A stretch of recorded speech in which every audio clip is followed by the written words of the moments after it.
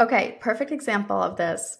You know the Jonah Hill story that's going around about Mhm. how he was like abusive to his girlfriend. hmm Um, so he had her take down. So before they started dating, he used to comment on all those photos and say, "Damn girl, you look good." Blah blah blah.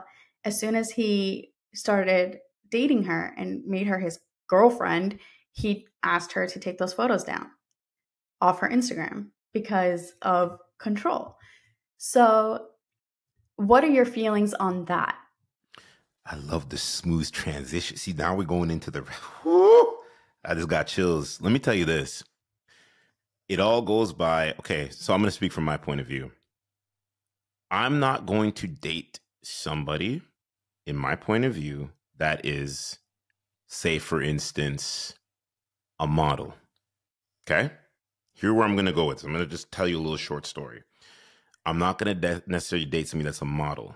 But if you're in the health and wellness space, that's for me to pick and choose because then I know that it's all about showing your body in the best representative way possible. Mhm. You know when it's professional versus when it's occupational of A just I want to just get thirst traps, right?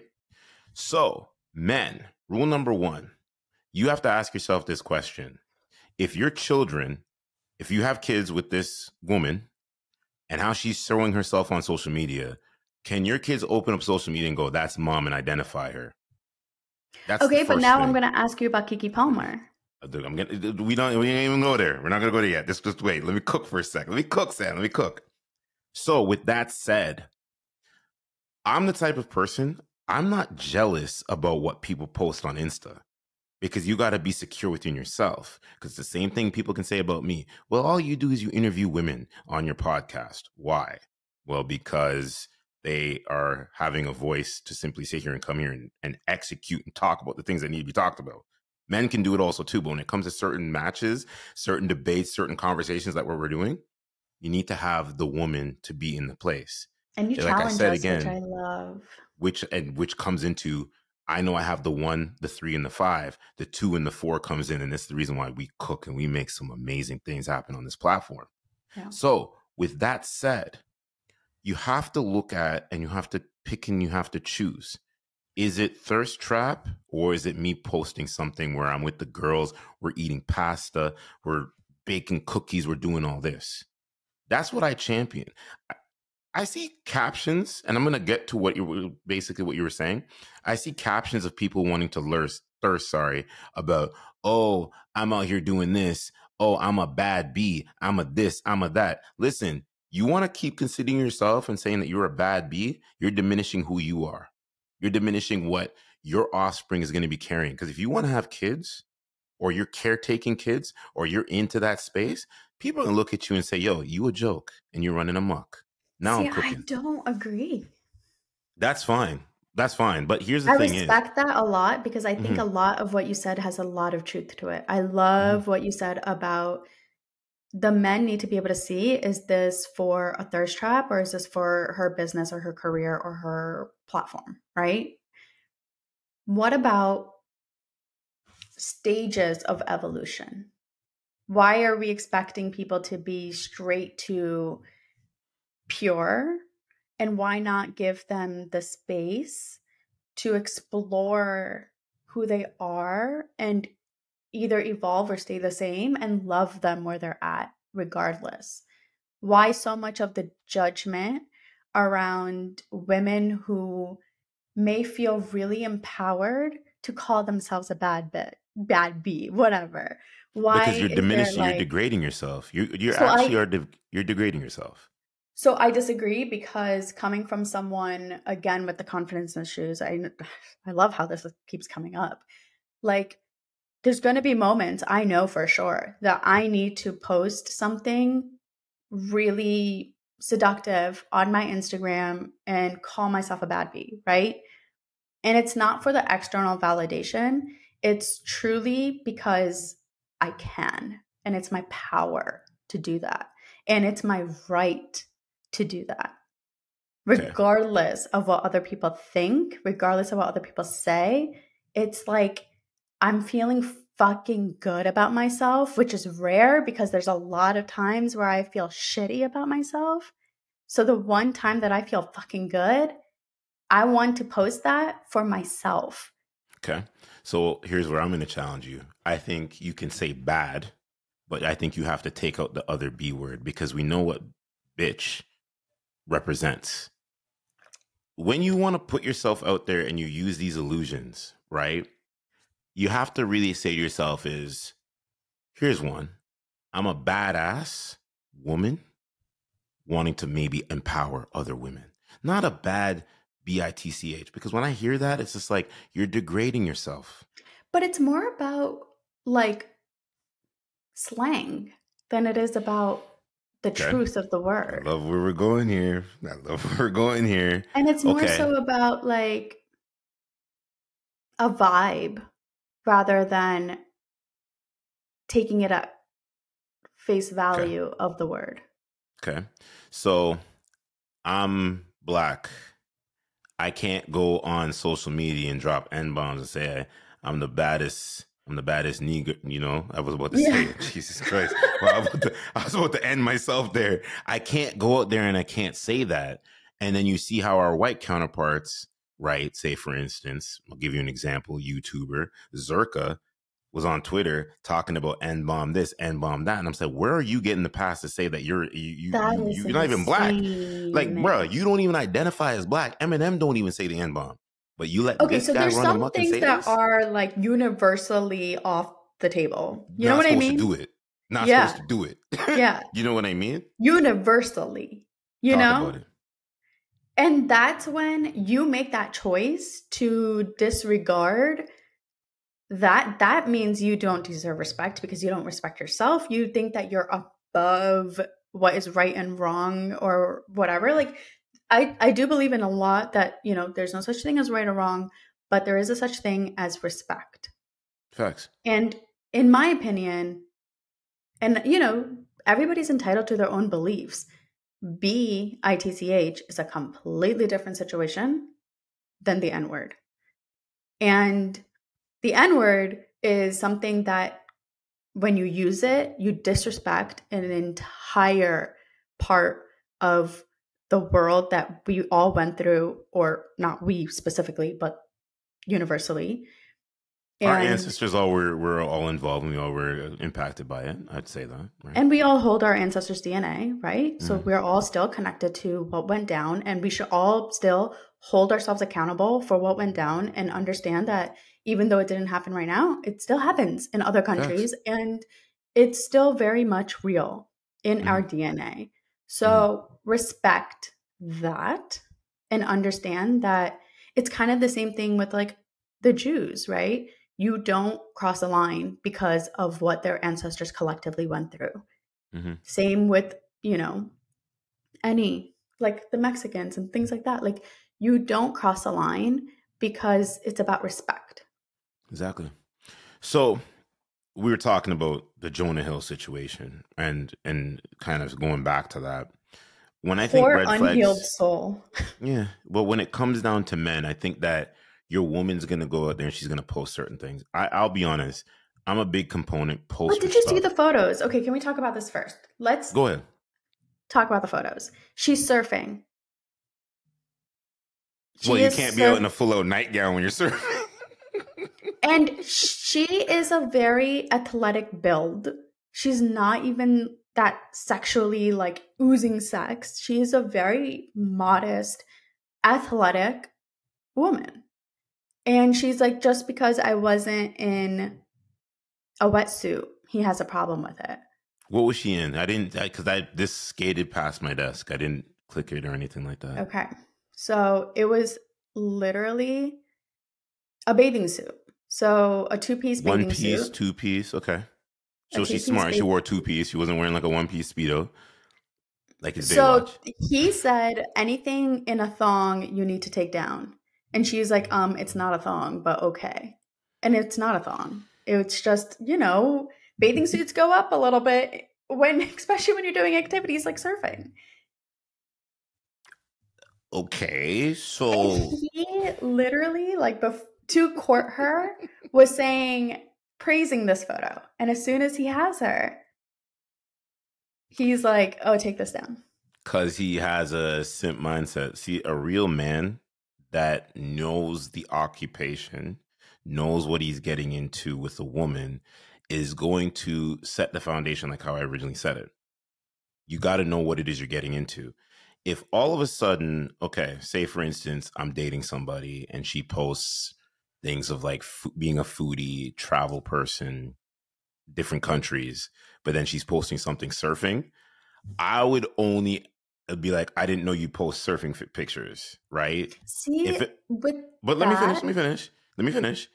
But it's all with context because if you're posting, like you see a lot of fitness girls do this, oh, it's shoulder day, but I can see your back, your backside then let's make it make it be make it make give me some sense here because if it's shoulder days, you're shouldering your shoulders, not your ass. I'm sorry.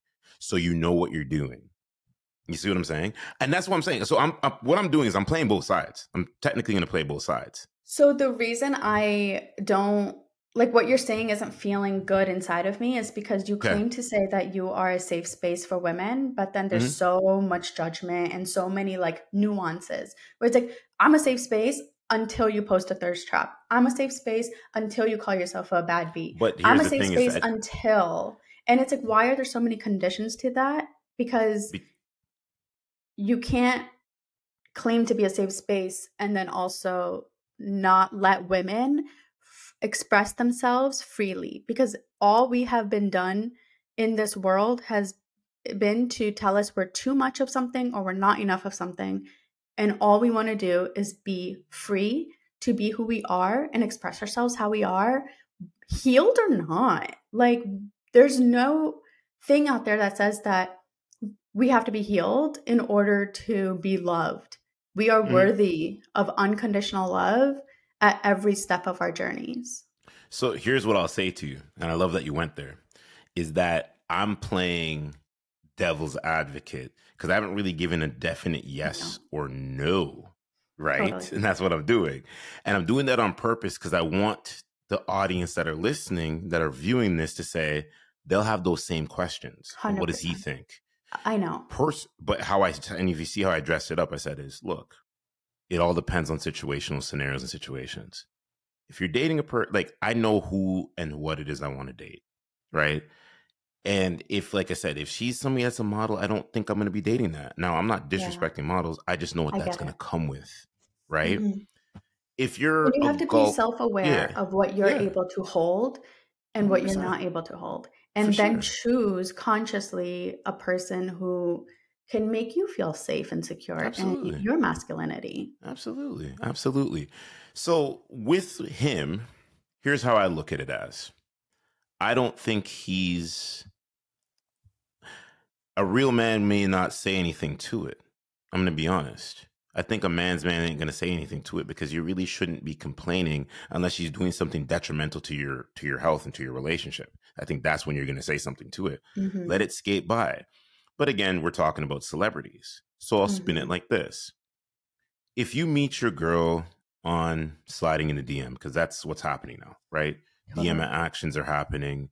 We know that women are the the gatekeepers to everything that happens, right? So men, that's not your ticket to say, "Oh, I can just run amok and do whatever it is I want to do," right? Within reason, like you guys have to be in some sort of committed relationship. And, you know, then you ebbs and you flows of what domination is going to look like in the bedroom, right?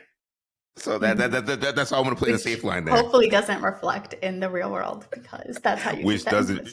You see what I'm saying? Mm-hmm. So, when I look at men in red flags, men have to always realize is that we're up against the wall. This is where the peace has to come into play, right? Mm-hmm. What are you doing to find the best version of yourself? So here's a, one tip: surrounding who you're around, who you wanting to be around, right? Champion and being around the right people, the right energy in men. Guys that are going to reach out, guys that are going to call you, guys are going to have networking meetings, guys that are going to be like, yo, champion, what do you got going on? I just was on the phone last night. I was gaming some Call of Duty. One of my guys goes, what do you got planned for tomorrow? I didn't really answer the question because I was so deep in the game. I was like, yeah, I got shit going on. You know what I mean? Yeah. But that's what you want. That's the first things first, have the right people. Heck, Mm-hmm. if you're a single male, hang around with dudes, and it's gonna sound crazy. What I'm about to say is hang around with guys if you're wanting to be in a committed relationship with somewhere down the road and you're single. Hang around with guys that are married. Hang around with guys that are showing what evolution and what they is. So when you get into your relationship conversations, it's not like, yo, my wife is tripping, yo, my girlfriend's tripping, oh, we're fighting, we're nagging, and this and that. Be around healthy energy. hmm Okay, but then I have a question for you. I've heard your podcast I, with um, when you said when men get into relationships, they forget about their single guy friends. Yeah, they do. Yeah, and I think it's true too. So you just said that like, you know, if you you being around healthy masculine energy, hang out around men who are married, do you believe that like how do you think that equal energy exchange can happen without it without anyone's feelings getting hurt? So with men and friends, or So like a single guy and a married man, how can what does an equal energy exchange in that dynamic look like? Because a single man has a lot more time and energy available to their friendships than a man who is in a committed relationship. That's lies and that's cap. I'm gonna say, Sana, I'm sorry, respectfully, that's cap. So here's what I'm gonna tell you. About Enlighten balance. hmm Balance, balance, balance. Here's the thing. If you can't spare an hour out of your day, out of your week, then you have to really ask yourself the question, where does that person play in my life? An hour. That hour could be meeting in person, talking on the phone, being on FaceTime. One of my guys, and I know you would not mind me saying this, we talk a lot. And it's so funny because his wife goes, Yo, you and Rory be on the phone for hours. So cute. But I love a a good healthy- romance. But it's a healthy relationship, Yeah. right? And we ebbs and we flow. It could be gaming. Nothing makes me talking on the happier than my husband like gaming and shooting You the shit with his I guy mean? friends. Yeah. You know what I mean. It makes my heart so fucking happy. But you know what the plot twist is? Y'all be sitting here in the other room listening. But what y'all talking about in there? So I know what you guys be It's doing. the same thing. You guys love the gossip. You love No, when we don't. girls go and have our wine gossip. night. Oh my gosh. No, I no, no. do Not, gossip. not gossip in terms of like toxic gossip. There's a healthy gossip where it's like, oh, like who's still dating who or who's whose relationship is struggling right now. Exactly, right? So with that, it's about taking an at least an hour out of your week, not out of your day, out of your week. You know what I mean? Okay, so I, it's not about the time. I think what I meant is the energy. So the married man is offering the single man an example of what an an evolved masculine looks like. Mhm. And then what is the man the other guy, like the healthy masculine receiving from that friendship so that he feels good about pouring that time into safe safe space and boundaries and really understanding that itself it's it's okay to be any form of vulnerable with your other person that you're meeting with or that you're hanging out That's with invaluable shit. That's good. right so that could be within business that could be within you know work that could be within content creation and things like that Mhm. I think where it gets weird is when. So I have a friend, and you know, I'm gonna say, share it all out. I don't really care because this is what this is all about. And he's over in America, and he's doing his medical, right? And he's Right. goes back and forth. He said to me, he goes, "Listen, when you hit me up that day and said what my plan was, and he said you gave me the time at five o'clock. He goes, I then knew. I was like, yo, listen, I gotta make so make myself free that we can both simply able to sim- simply sit there and talk. And it was a four hour meetup, food, this, that, you know, whatever, whatever. But a lot of men don't know how to do that because a lot of men get complacent in life, right? Mm. And that's why Speak it's all that. about this. Why does that happen? because I. why do I think it happens? Yeah. You really want me to? You really want me to know? You really want me to tell you? I'm so because I think I think that men get lazy and men don't ever want to practice what being a real man is. It's Why? not about necessarily about money, but men should be leading towards first things first exercise, form of exercise, form of exercise, being in that gym, boxing, running. That's step number one. Step number two, be able to go to work, not complaining and saying, Oh, I don't want to go to work today. Right? Lay off of the drugs, lay off the alcohol. There are major distractions in life, right? Now I see that's the reason so many high achievers, I don't drink. I don't smoke. I don't do drugs. Do I drink? Yes, but I don't drink to get belligerently drunk. Do I smoke weed? No, had a bad trip when I was young, so I don't touch none of that. Do I hang around with guys that are? Do I hang around with guys that still smoke weed? Yes, but you know what they do? They do it in the private compounds of their household, or they Yeah. step out of the They're venue not like or doing the it 24 area. 7. They're You see what I'm saying? Totally. You have to do things that are going to excel and uh, level up your mind. Get your audiobooks on. I watch a lot of fucking content. I watch a Mm. lot of content. That's content that's going to sharpen my mind, right? Everything is either audio or video, video with me. I don't got time to pick up a book and sit here and go, okay, cool, because it's too many distractions, Yeah. right? Podcasts, free resources out there, right? Always finding a way to network, perfect your craft, perfect your relationships. That is what men should be doing. Not going on the pixels, and I've said this on a previous episode, and typing in your favorite OnlyFans chick or whatever porn star that's out there, or should I say corn star that's out there? Because I have to say corn because the algorithm is going to end up f- frying me, right? And be simply sitting here and being like, oh, look, this is what's going on with Lena the Plug and Adam 22. Those, I've had those conversations. Am I going to talk about it on a podcast? Maybe not, because none of my business. But Adam 22, I'll get it out there and I'll say it. He's a simp. He's a simp. You let your girl, like you're it. letting you, you're letting your, you're letting your whole woman, right? Being an OnlyFans chick. Okay, yes, you guys had the trade off. She was allowed to simply sit here and bring other women in, and you guys mate with each other. Now she wants to step out because guess what? She's sick and tired of that. She wants to graduate. So guess what? She found a bigger, better deal. And now you on social media crying about it, saying, Oh, I let my wife be with another man of another nationality, blah, blah, blah, blah, blah. And people are saying he's going to make all this money from it. Yeah, he's going to make so much money off of it. But you know what the crazy thing's going to happen is when she's going to eh, graduate from that and then say, Oh, listen, I don't want to have one man. I want to have two to three to four and however means it's going to be. That's the reason why he would never put me on that show because I'd cook him. I'd cook him. Cook him. Well, you can speak about it all you want, though. Oh, I don't speak about it, and I hope he catches it. I hope he catches the algorithm, right? Yeah. It's low vibration. It's low vibrational energy. Any man that subscribes and paying money to these people for that, you have to really ask yourself a few questions. That's where your hard earned work is going to. Low vibration pixels. But what Low about vibration people- pixels? What if their journey on this earth is not to evolve? And like the thing that I always question, right? Like the weight of the world on our shoulders is something that I think about a lot as people that are here to spread the message on how to become better, thriving human beings, right?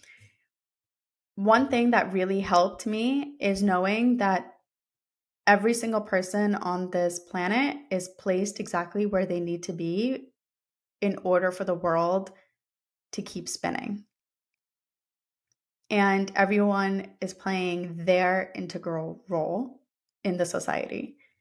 And it is up to the human to choose evolution when they feel like the world that they're operating in no longer serves them and then evolving becomes something that they have to do if they want to find fulfillment and happiness. Okay. So I challenge this real quick. Evolution should come from something. I've always said there's nothing wrong with working a nine to five, Mhm. but working a nine to five, going home to family, your kids, your loved ones, and watching Netflix, if that's the life you want to live, cool, travel maybe one, two times a year with your family, that's cool. Yeah. All right. For me, it's about you go to work, right? Once you're done work, you go to the gym, you come home, you mellow out, you either figure out what the agenda is going to be for the next day or for the next weeks coming ahead. planning content creation, sending out emails. That's the evolution of mine. That's having the Mamba mentality with the basketball. Any means necessary, right? I think a lot of single men that just want to simply sit here, go out every single weekend, which I see why guys do that because there's two different plays to it. Guys work so hard five days for the week, so they want to go out on a Saturday night and have time just to chill out and mellow out and vibe out. Unwind. Nothing wrong with Mhm. that. Nothing wrong with that, right? It's not what you're doing in between that. Because if you're going out chasing tail, hoping to find a girl, take her to Pound Town every fucking week, like, bruh, see you later. Mhm. It's just, it does, you're not going to progress to anything. Because all you're doing, if you're simply sitting here every week, every Saturday, and you're spending anywhere between 150 to 200 bucks that night, that equals out to be what? Almost 10, what, 5 to 10K a year? Mhm. That I know my math could be completely off. That's crazy. You see what I'm saying? yeah. So it's like the ones that are going out every weekend and that's their time to unwind, cool, do that. It is what it is. It's Mhm. social hour. You know what? I'm a big component now because I got a lot of things going on coming in the next few, you know, weeks and things like that and months. Is everything now when I go out is all networking. It's all high level conversation. There's Where nothing does more. play come into that? Like, what about inner child Rory? Where does he get to just like have fun and just like not have the constant pressure of this like evolution growth journey? It's not Because a front of me. girl, a woman really wants to have fun. Like, she wants a man who is dedicated to his growth and evolution, of course, but then also knowing that when they are together, like your growth should happen on your own but when you're together like with me and my husband like that's my joy that's my fun that's why you see our instagram posts and we're out having fun doing all these fun crazy things like i don't want to sit there and like just constantly hear about your habits and what you're doing and your growth and like where's your personality outside of being a growing individual So I love that you say that, and that's in going to movies, right?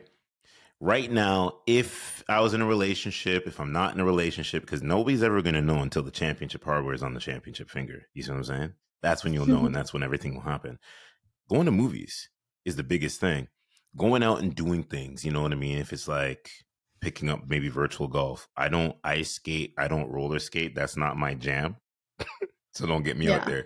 When you six four and you two fifty, like going on Can you ice skates, imagine? That would be hilarious. it hurts if you fall. It hurts, right? Yeah. Um, doing some form of that, right? Yeah. Uh, going going different cities. You know what I mean? Spending a lot of time in Toronto. You know what I mean? Mhm. And and really, on sporting events, things like that. Gaming's a big component also too, right? Yeah. So there's always that fun side to me, right? If when I'm in a relationship, all the women know what it is. Yo, it's gonna be time. It's it's gonna be we're gonna go out here, we're gonna eat this, we're gonna eat that, we're gonna hang out, we're gonna have conversations, we're gonna vibe out. You're gonna ask me Mhm. about podcasting, I'm gonna say is it's weekend. I don't want to talk about podcasting. I love that. Boundaries. wanna talk so about podcasting. important. Yeah. You know what I mean? Talk to me on Mhm. Monday morning. Yeah. you know what I mean? And then they look at you and they're like, wait, you don't want to talk about podcasting? Yeah, I don't want to talk about podcasting. But Yeah. that's your craft. How can I help Mhm. support you? Well, you know, Ma, let me tell you this. You could help support me, but let's have the conversation at 901 on Monday. Yeah, that's a business conversation. That's not a date You know what I mean? You know hey, like I mean? I, yeah, I mean, let's go back to red flags in the beginning of dating, right? mm-hmm. The number one, the biggest red flag. Forget this personal development stuff, right? Put that to the side. It's extremely important, but you're not going to know someone's personal development journey on the first date. What you will know on the first date is how many hobbies and interests do they have outside of making money, external validation, external approval. What do they enjoy to do just for them and themselves? And that is going to be so much more telling for you. Is this person a secure individual or not? The more hobbies they have outside of professional and personal development makes them a more secure person in themselves. It's What funny you you, say about that. No, I love that. But you know what I think when you're not a person that we we joked about this camping. I don't do camping. I don't. Right. I'm sorry, I don't do camping. Hiking I can do to a to to a level, right? Mm-hmm. Camping and hiking are two different things. But I think when you hear a lot of people talk about, oh, I want to go out on my boat. Well, sorry, I don't do open body water. I almost died when I was a child. I almost drowned. Oh my god. That's con- you gotta start compromising with that because listen, if you're scared of heights, I'm not gonna put you hey, in. Sea I almost drowned in a beach, but that's still some of my favorite places to you, be. That is you. That is you. That is not me. I'm speaking from my point of view, Sana. Let me let, let listen. Hello. You gotta face your fears. Listen, let me tell you something. I don't listen, need to come be to Seattle. We'll go on a boat. Yeah, right. Yeah, right. The only we'll time I'm coming lightly. to see tread lightly. Yeah, with my water wings and my life jacket. Out of here. Recording in progress. Wait, the podcaster just did the podcaster just enter an open body of water? Yeah, right. Can't do it. We're gonna record just... it. It's gonna go viral. Oh, Lord. It'd be the best thing to ever exist on the internet. I hear you, right? The the thing is, is that you gotta be able to understand what people do and what it is they like as far as hobbies. And I think you can then instantly build into it. You know what I mean? I find it weird when some people say they, they don't like watching movies. I think that's weird. I'm gonna say, you don't like movies? Like, what's wrong with you? Like, yeah. what do you like? What do you rather mm-hmm. do? Some people then are like grounded to nature. Okay, cool. That means more walks. You know, that means more hikes. Cool. I have no problem walking. Yeah. I love walking. Walking's amazing. I'll go on a two. I'll go on a on an 11k walk right now if I wanted to. It's humid outside, but later in the evening. But you have to. I think in the very first beginning stages, it's the best representation of people are trying to do. It's like a job interview, right? Mm-hmm. What does that person like to do? Heck, you know what? I like pro wrestling. I think one of the most sexiest things, and I've had a couple exes, it would have been back in the day. We're talking about years, years ago. There's been live wrestling events. I want to go to you with that. I'm dead ass saying, going, What? You want to go watch what pro wrestling? But I know you like this. I'm like, nah, it's all good. Because in the back of my mind, I already know what's gonna happen. You're gonna ask me all these questions the whole entire time. So I love that you say that because my next question is there's a difference between making sure that those hobbies are compatible and then there's also a difference in just saying hey that's i love that for you you know? And knowing that just because you're in a long-term committed relationship doesn't mean you need to do all of the hobbies together. And in fact it's actually a lot healthier for two people to have completely different hobbies that they enjoy to do alone, occasionally maybe together, but in a blue moon, mostly alone, because that creates that sense of self within a loving, monogamous long term partnership. Facts. And I think that it also goes into where, okay, there's a lot of people that like country music. I don't really rock with country music. Would I? same thing over and over again. Before. Right? It's the same same stuff, same stuff would I support you in maybe buying you country music concert tickets for mm. two to take one of your girls? 100%. And that is so romantic. And that's right? more romantic than like going, like, say your partner bought you the pro wrestling tickets and was like, hey, go with your guy friends, have a guy's night, like, go have fun. I know this is coming up and I know you really love this. And I just like got it for you because I thought about you because I know you love wrestling. It's amazing. It's amazing, right? and I think that's how you. That's it. That's where you go with the feminine, the feminine energy and the masculine mm. energy. It's when you can ebbs and flows. It's kind of like I'm supporting you, but I don't have to necessarily be there. Now, when you go to these things, it's not saying that you go to the country music concert and then you go hang out with this guy, that guy, and have him buy all your drinks for you that night. Because I'm Mm-hmm. okay. First of all, mm-hmm. like the number one thing when people like heard about Talk me about and my you. husband living apart together was oh so you get to do whatever you want with whoever you want and your husband's never going to know or they think like oh he's going to have people over and this and that again goes back to how secure is the individual in their solitude and their alone time people that can't be alone are more likely to go out and seek external attention company yada yada but if you know your partner loves their alone time. They have so many hobbies and they have so many things in life that like fill them up that doesn't require external validation. And I guess that goes back to your Instagram post comment about women. How many of them are putting out their straps because they need that external validation versus how secure are they in themselves and they are posting content that can create an impact and empower others, right? Like, are you, do you need more from the world or are you willing to give more to the world? And that shows how confident and secure a person is. But then you're going to have the women that say, well, it's my body, my choice, what I want to post. And I'm just like, but it goes back to, yeah, but don't complain if men are going to sexually objectify you. It's just how and the secretly they like that. Be. Like a woman knows that she would not be posting what she is doing if she was not seeking for that attention. That attention feels good. And like just ask yourself, do you want to be known for just your appearance that will change when you age and you'll lose one day? And then what are you going to do?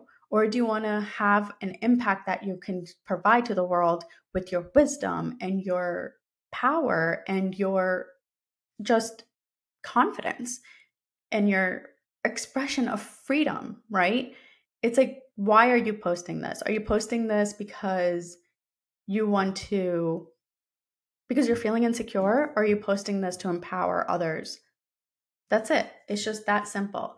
And there's nothing wrong with posting because you feel insecure, but then being consciously aware and emotionally intelligent enough to know that you're doing that because of a wound tells you, okay, go ahead and still do it. Know that you're going to attract insecure men as well because you're being insecure. And if you want to change the pattern of the people that you're attracting in your life, change your habits do the inner work to see why am I insecure? Where is this insecurity coming from? The shadow work.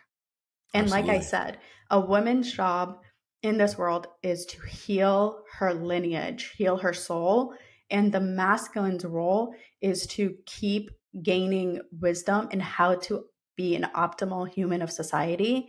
And the man leads in helping the women become successful, confident, powerful and the woman holds the space for the man to dissolve the patriarchy and the capitalist society all this crap limiting beliefs that we have. So a woman's job is to empower the man to be confident in who he is inside and a man's job is to hold the space for the woman to have that confidence in herself so that she doesn't need to seek that external validation. And it's well said. It's well said and i think that a lot of women now the ones that are aligned, the chakras are aligned, you see them mm-hmm. going down that journey. Yeah. The men that are championing themselves to become better are are championing that also too. And that's why I heard an influencer once say this, and it makes the most sense. A lot of women will do one of two things with a man. The ones that they know they can run amok with, they'll sell him anything and he'll just go with it. The ones that they know that they can't, they'll do one of two things. They'll either sit there and they'll chomp on the mouth guard and they'll shut their mouth and they fall in line, or they just taper off and they run away. That's just how it is. Because they realize that this potential person is going to call me out on my shit. You know, it's so funny that you say that. I always say that if you're not willing to look in the mirror, don't get married because that is the role of a long term partnership, any relationship. I mean, it happens all the time in our friendships and our family dynamics as well, but it's like on a such a small scale because you're not with them 24/7. When you're living with someone, they are going to trigger the hell out of you because they are mirroring all of your insecurities and your doubts and your wounds. And if That's you're not willing to do the work, you got to travel with them. You got if the first vacation that you and that said woman can go mm-hmm. on, or that said male can go on, try to do it as quick as you can because you'll see everything you need to see. Goes, That's see so funny. My husband and. I went to Cancun a month into dating. We were still casual, and I'm like Googling, what does it mean when a guy takes you to on vacation? you know why we and it's so funny. You know why people Google is because they want to get the information, right? They want the information that's going to change. I wanted to validate what I'm feeling. Like, oh my gosh, he's really interested in me and he's serious about me and blah, blah, blah. When in reality, he's like, I just wanted to go on a vacation and you seem fun and I asked you to come with me, you know? Yeah. Before we get out of here, real quick, we're, we're just going to do like a, a quick, just back and forth. When we think about these red flags between men and between women and all this, what are what are the things? And this is a quick refresher because I feel like some people just have blinders on. They don't got the Brady, the Peyton Manning vision. They're not looking down the field. They're not Patrick Right. Mahomes can throw 60 yards, no look. They tend to just want to be like, oh, this okay. Let me just show up. Right? Yeah. Like what what what what are the things you should be looking for? Is it speech? Is it character? Is it fidgetiness? Let's talk about it. I'm going to talk about it from a female perspective and I want, I would love for you to talk about it from a male's perspective. Like, Let's do it. Okay. So if I was on a first date, these are the things that I would look for in order to see if like the red flags, the green flags, and the beige flags. The red flags are how are they treating the wait staff? How how are they speaking to them when you're on a date? When you're out in public, how are they interacting with the world around them? Observe. Be an observer without judgment. Just take it in and tally up the marks right? How do they treat women that they're not interested in? You could tell these things just on like at a restaurant. How are they talking to the wait staff? How are they talking to the hostess? How are they are they ordering for you? Are they like being controlling? Are they being or or are they holding space and being like, "Hey, what would you like? Order whatever you want. I got it." You know what I mean? And then another thing that you should look for is the hobbies. Ask them like hey what do you like to do in your free time? Cool. What's your plan for what are your biggest dreams right? Do they have dreams? Do they care about growth and personal development? These are all first date questions that aren't too aggressive and too this and that if you come with the energy of a simple observer with zero judgment just get to know someone on a first date and then process that date when you go home don't sit there and argue and judge them and this and that on that date because they're allowed to do what they want and you're allowed to do what you want and you get to choose do I want a second date or not? Before I answer, should the men should the man always pay for the first date?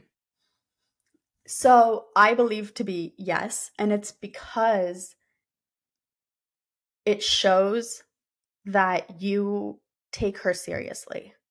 It shows that you are ready to invest not just financially, but also your time and your energy because that money took time and energy for you to gain. And that is the bigger picture here. It's not, oh, can you support me financially? Women gives a bigger message than just, hey, I got you financially, because a woman doesn't technically need a man to support her financially, but she does want to know that you will pour your time and energy into her. And that is a symbol of that. Okay. I love that you say that. men, men, men, men. Coming from my point of view, I'm about to cook. Yeah, this is me oh, a little hibachi grill time. So, step one, you guys go out no matter what you're doing. She's not going to ever complain or champion or challenge whatever it is that you have going on. If she's actually interested into wanting to get to know you. That's step one. Step two with that is once everything is done, does she text at the end of the night and says thank you? Or does she Mhm. say it to you?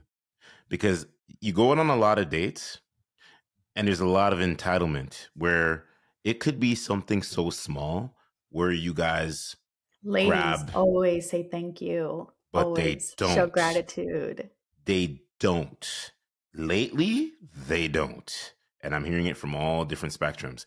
And I'm sitting here to myself and I'm like, where's the manners? Right? If she don't say thank you, walk away from that scenario and situation. I'm sorry. Just cut your losses because it shows that she doesn't have proper home training. there's you got to say thank you, ladies and gentlemen. You have to. So I have a question. So what I hear on the women's side is when I show gratitude, they take it 10 steps further and say, "Now what are you going to give to me because I did this for you?" And that is why I believe women fear showing gratitude to men they just met because they don't know if they're going to be if a woman says, "Thank you so much for that meal." 9 times out of 10, the man's going to be like, "Now what do I get?" But and then that puts so much pressure on a woman to do things that she's not ready for and says why can't you just like do a nice thing for me just out of the pureness of your heart why does it have to be this tit for tat situation And I love that you say that because I think it comes down to respect. And I think that you will know, you will know. Women, I'm gonna I'm gonna say something here that may I know is I'm probably gonna I feel you're gonna, gonna give me a rebuttal. You should know who you're going to sit across from where out it whatever it is you guys are doing. Right? If it's a play date, if you guys are going bowling, if you guys are going playing darts, if you're playing mini golf, you should know. You should really know and I think the best representation of that is doing the background checks. I've had women say to me, I've crept you on social media. I've listened to your episodes. Cool. Mm. I'm like, all right, cool. I'm laughing because I'm like, what if I- someone's not on social media listen, you can figure a person out. It's not that hard. Google is Yeah. a hell of a thing. Google's a hell of a thing, right? Mhm. And I think that once you know and what you're doing, you'll have a good idea. You'll know. You can tell if a guy is really psychologically messed up and you know he's just there for one thing. yeah But guys like myself, and this is going to be some free game. Once you take it off the table from the early stages, I'm talking about first date, you take it off the table. You don't come with that, you don't lead with that. It forces the woman to think, well, wait, if he's not looking at me like a piece of meat and he's not going to sexually objectify me, Ooh, what's that's going to send her nervous system into chaos greater- if she doesn't think she has any self-worth outside of her external image Exactly. And that's how you can play the fault line because they say, yes, women do are the ones that control of what happens. But when you take it off the table and you're not acting thirsty and you're having wholesome conversation, you're just getting to know each Ooh, other. That's gonna make her go crazy. You're sparring in the you're sparring in the ring, you're doing whatever you need to do. Here's a free game. I'm gonna say it to a lot of people. Nine times out of ten, she's the one who's actually gonna pursue you. Believe it or not. You'll know. Be- like women don't hide it. When we want something, we want something, and we'll tell you we want it. And that's on a secure woman, right? That's Yep. another thing. Like a red flag. If you are questioning where you stand with a woman, she's not secure in herself. Yep. Yep. If And she is secure in herself, you'll know. Like the energy will be so clear. and they make it like i said as a woman will always make it easy right Mhm. none of this you have to chase her she has to chase you she's gonna open up herself available to you and nine times out of Yeah. ten men and i'll say this is free game here don't go in thirsty watch how she reacts to it because if Yeah. she's in one with herself she's gonna say okay what's his play and then she's the one who's gonna be like yo hey let's let's hang out Oh, we're gonna hang out. Oh, come over. What? Because there's a way to troll that. Come over and do what? What are we gonna do? We gonna play chess? No, we're gonna watch a movie. Okay, you know what that word is for. Hundred percent. As You soon know what as she's you trying to tell ask you. someone to come over, you know what the intentions are. You know what the intentions are, but women are never gonna fully come out and say, "Come over," and you know, maybe your wife, maybe your girlfriend. I You know I mean? I don't really know. I mean, there's been times early dating with my husband where I'm just like, "Hey, I'm coming over," and I would make it clear because it's times where like sometimes you just want a date, sometimes you just want what you want, and there's times where, especially early dating, before you're committed, you're not going to lay out your problems to this person, but you're going to still want to see them because you're interested in them. Absolutely. So sometimes you just want Yep. that feeling of connection and Yep. that intimacy because you're feeling low. Yep. the other thing is communication patterns. Now, I know this is going to come across, just going to be very buzzy for some people. The communication elements is that if she's expecting you to always pursue, I think that's a problem. It should be mutual. Here's where the caveat is women love to talk. So if she's not orbiting herself around you, that's when you'll know. That's when you'll know. Because nine times out of 10, she's going to reach out to you and talk about something within her day, or she's going to want to check in with you. She's going to pick something. If it's, say, for instance, you have a podcast, maybe she reaches out to you the next day and says, Hey, what do you have coming up for a podcast? I've had that happen. And I kind of look at the message and I'm like, Huh? What? That means she's asking because guess what? She's orbiting herself. She's bringing herself forward. Or maybe she's showing you, interest. she's showing interest. Or maybe you play, you know, uh, pick up house league soccer. Oh, are you ready for your game? Even though it's house league, little things like that. Mm-hmm. Right. And I want mm-hmm. men to really clue into that because there is a pandemic now where I think a lot of women are now playing the one to many role. They're dating around, they're spinning plates from the beginning of the conversation that we talked about. Right.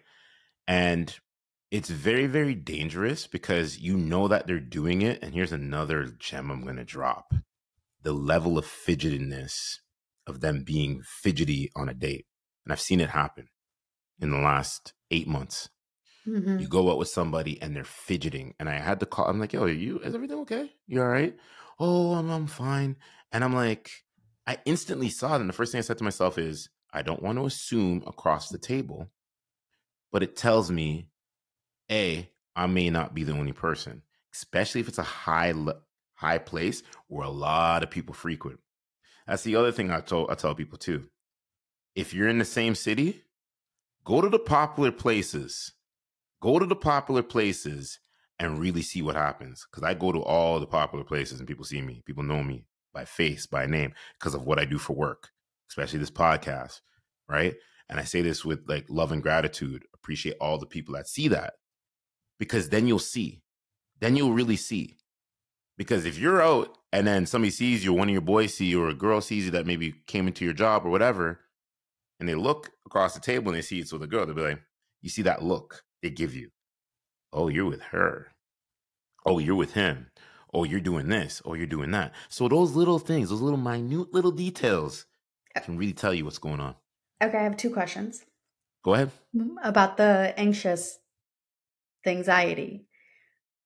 At what point do we stop taking things personally and maybe step back and think, I wonder if this person has anxious attachment style and they don't feel comfortable on a date and they're just nervous, they're just anxious. And it's not because she has all these games playing in her mind. I think we overcomplicate people when in reality, humans are so simple. And it's all about not assuming and staying curious and becoming the observer instead of like replaying your past case scenarios into a present moment. When do we know is when I believe that the foundation is built early stages early stages. I think before you get into the first encounter, and there's a lot of people have championed that. I've heard a lot of people say is they actually like to have a conversation before they meet with the person, depending on how the dynamics are. So, but mental if, health isn't something that you can read right away. If mental health absolutely. was something that was easy to pinpoint mm-hmm. and see from the get go, therapists would be able to s- cure people with mental health issues instantly this is the reason why I say when you have the yin and the yang, and this is just on a podcast, business, professional level, one, three, five, you're the two and the four. So I see what you're doing. I, I, I love it. I love it. I love it. I love it. Because I think that if two people, and I'm saying if you just, if this is your first time meeting and there's no previous conversation, yes, there's going to be nervousness. But if you actually have maybe a little bit of a rapport, maybe it's a quick little FaceTime, maybe it's a quick little check in, people would not tend to be nervous. I think it changes the whole dynamic. I think people I still are more get like nervous sometimes on a date with my husband because I have anxious attachment style, right? So okay. because of, if I was being discarded, like people saw that I'm like nervous, I play with my hands a lot. I literally like I'm constantly like nervous, anxiety, I'm self-soothing constantly when I'm nervous. And I get nervous because I'm not it's not because of the other person, it's not because of anything external. It's just my own mental health issues that we just simply do not have control over, you know? Sure. So like I think that what needs to stop in first dates, early dating stages is pre assumptions that you think you know everything about a person just based on their behavior. Because humans, as simple as we are, there's a lot that can be happening in our inner worlds that have absolutely nothing to do with our date, our friendships, our community, our life. And it's just life. Okay. So let me ask, let me play devil's advocate to you before we get out of here. Do what's the component of because I see and I hear some people doing this, and I've had this happen also a lot of times also too, where that open sense of communication. It's not saying you're pouring out your whole entire life story, but if you have something that's going on, I always say it's maybe best to just say it to somebody. And that's one thing I also want to clear up in this whole entire thing is be open. Yeah. You should be open with ever whatever piece of communication. Mm-hmm. Heck, if you come out and God forbid, like your goldfish died or your hamster died mm-hmm. or your dog's sick or your dog's unwell, probably say that to me first because Let I don't want to be the, you're at. Yeah. I don't want to be the person like, oh, is everything okay? And then you're simply sitting there ready to just to burst out in tears. The worst thing in the world happen. is also the passive aggressiveness, right? Because yeah. you're deflecting like just be open and honest yeah. about where you are even if you're nervous and you don't know why even if you're feeling certain things that are coming up and you don't know why just say like hey like i'm not my best self right now i don't quite know what's going on with me i will process this later but i want you to know that i am interested in being here with you right now but i'm just feeling some sort of way thank you Thank you. You don't need to remember, like know what's going on with yeah, you because I remember. I remember in my past, it was about pandemic, uh, 2021. I was we were just sitting there in a just in a park, just hanging out, just whatever, vibing, and I said something that made her think about her dad. Yeah. And she, I saw it like complete change around. I'm like, are you good? And she's like, um, and she start just verbalizing. She's like, he's no longer here anymore, this and that, this and that. Mm. I didn't feel bad, but I was just like, hey, I appreciate you being vulnerable. And she started to tear up. I was like, you know, it's okay to cry and just cry. She's like, I don't want to cry. I don't want you to think this, blah, blah, blah. I'm like, yo, you're fine. Don't worry about it. It's all mm-hmm. good. It's all good. Because I think that when but we don't want to also feel like a burden. Yeah. With but our personal shit that we should be over by now because yeah. that happened so long ago. Yeah, but I think when you're dealing with people that are in one and they're in tune with themselves and they show empathy, they're masculine, they provide the safe space. I know you challenged me a little bit on the show here. I think you know. I think you know when there's good energy. Because that person now look at you like, yo, why are you crying? Just dry up your tears. Now, if you're crying about something like whatever, I'm gonna tell you, get over yourself. You'll be fine. I was gonna ask, as a secure man, at what point does that anxiety get to be too much? Where you, where you say, where you, you get tired of holding that safe space for that person as frequently as you need to, because you're not the one with the anxiety. So when you know your problems may come up occasionally versus someone with you know anxious attachment style mental health issues codependency abandonment wounds that person's wounds are kind of come up more frequently. I think that once you go into a, something and that's more secure, mm-hmm. and I'm not talking about like one or two, you know, meetings, three meetings. I think by the time and how I am, I think people tend to see is is this going to work? Yeah. He's maybe too just boom, he's laser focused. He provides a safe space. Yeah a lot of women discredit themselves from even finishing the race. And it's not even because of you, it's because of them, because they feel like I can't get to where he's at. And i have heard that. The unworthiness. I have a client that's literally who just got married last week. A week before, she said, I do not feel worthy of being married. I don't know what's going on. I'm like, is this cold feet or is this something else? And it could be cold feet, right? It could be that, but cold feet happens for a reason when you're not Yeah. secure, right? So, like, It's part of life. so many women feel unworthy of these healthy, secure men, and that's why they self sabotage and go for their comfort zone of what feels comfortable, even though that's toxic. The toxic dudes, the toxic dudes that are gonna run amok. Toxic dude that's not gonna talk to you for a week or two weeks, and then you're like, "Does he still love me?" When you're Mhm. on the charcuterie boards, wine night, at the winery place, like, hello. Like when I hear that shit, like it's so cringe now because it's like, Ma, you know- he don't like you. Are you, You sure? know what's so annoying sure? about those wine nights and those charcuterie nights? I wish women would start being more honest with their other women and say, hey, like maybe he's just not that into you. It has nothing to do with you, but you need to move on. But instead, mm. they start playing those games and they say, okay, how can we get him to like you more? How can we manipulate him into like seeing your worth? How, like, you know what I mean?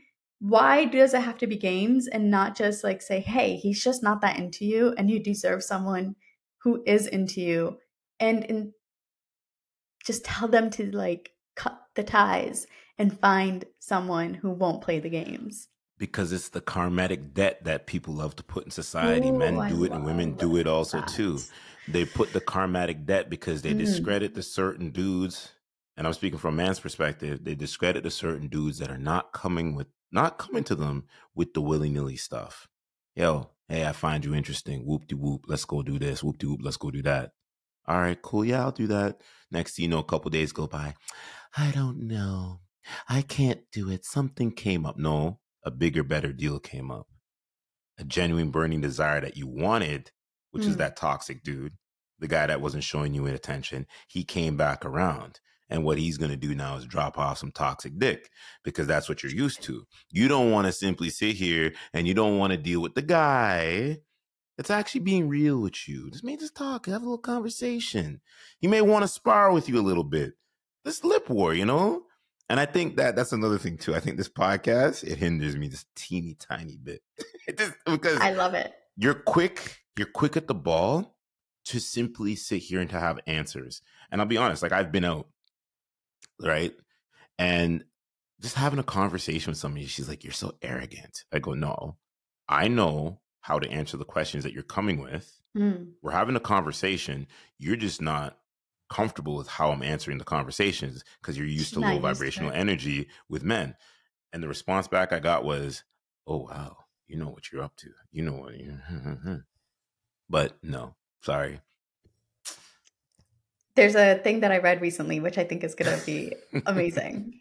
women want, or secure women want, a healthy man with toxic energy sex. so, our biggest fear is that once we choose that healthy man, the intimacy is going to die. The intimacy is going to be like not there. And the biggest thing I teach my clients is the more I said this in the podcast last time the more safe you feel with a man, the kinkier the sex gets. And I wish women knew that and they wouldn't fear that once they do settle down with that healthy man, that secure man, the man that challenges them and, you know, enables them to grow, the sex is still going to be even better because it's going to transcend physical intimacy into an energetic one. And this is how this is and this is how I'm just gonna simply tie this one up here. Deal with if you're into astrology and you know the signs, you know who's gonna put the genetic ja- jackhammer down. Trust me, you're gonna know. So find your astro- your your astrology signs. Yeah. Ask him what his birthday is. Yeah. Right? Ask him when he was born, and you'll probably figure out which one. Here's what I'll just do: Pisces, they, they know what's going on. They know what's going on. You know more than I do about all that because I believe Pisces that know what's going on. now I gotta go look up what that means because I know nothing about Pisces. There's there's certain astrology signs that are amazing lovers. I hear Mhm. Scorpios are something different. we're loyal as heck. Yeah, but y'all have a side a, a side. When the doors close, you guys have a side that you like. What did you say? I think that was one of the clips I used. You let your freak fly. Yeah, when we feel safe to. oh, when you feel, safe, of course. That's why you got to set it. You got to set the foundation. You but know? like when a Scorpio doesn't feel safe, like those walls are so damn high. and the Like stingers we're not come letting out anyone too. in. And the oh, stingers hell come yeah. out too. This is Oh things my like gosh. a dagger. But we're like the softies too at the same time. Yeah. We're confused. I feel you. Where can everybody check you out? And what do you got coming? So I do have my own podcast as well, Thriving in Love podcast, where I talk about what healthy love looks like, what thriving in love looks like. And you can check me out on my Instagram, Sana Akand, and my website is sanaakand.com if you are looking for love coaching. Love coaching. Hear that one. I love this. You know, when am I coming on your pod? You tell me. Let's make it happen. Let's make it happen. Yeah. Because sometimes when I'm like the guy and I'm just like, you know, I have to ask the questions and whatever, I love it. But when I'm just, it's just me with freedom with the mic and I don't have to over like think what I want to talk about. and I just Mhm. let things fly. Oh, yeah. Those are the best episodes. I love it. Well, you should do I that with your own. Let yourself be free. This is your platform to. It is my express yourself. platform, but you know, they're coming for me soon. They're coming for me. Or what if they come for you and they say, you know what, this guy's not afraid to say what's on his mind, and that's what's going to make a good episode, and that's why I want to bring him on. Yes, but they, they I'm saying the other people are coming for me. The algorithm, the matrix. We're here to live above the matrix. So that's a whole different world. Let them live their world. Let them live their toxic masculinity, toxic femininity, like whatever. Fuck them. We're not here for that shit. We're here for the people who are ready to break out of the matrix and learn healthy love and actually do better in life. Oh, would you look at that? The show just ended.